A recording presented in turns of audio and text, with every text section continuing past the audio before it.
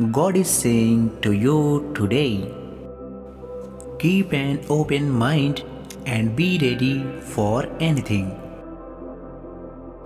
Opportunities come your way when you least expect them.